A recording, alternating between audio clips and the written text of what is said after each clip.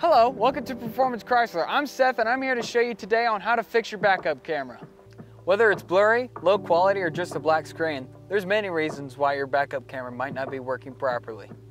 If it's just blurry or low quality, it might be an easy fix. Taking a soft, wet microfiber towel and wiping off the lens could be your simple solution.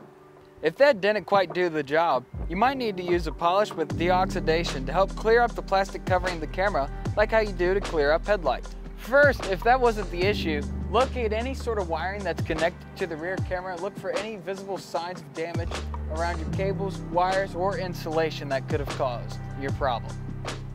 If you see any loose connectors or broken wires, you might be able to replace it by just fixing the one wire or replacing the harness in and of itself. Before you go ripping apart half your car, sometimes it's as simple as a fuse.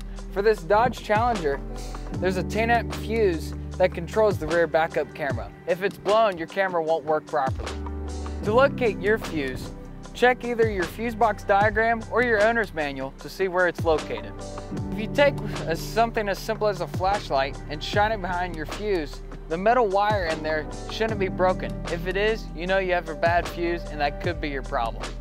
If none of these steps today worked for you, you may have a more serious problem.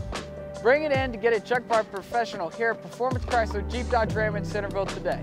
Thank you.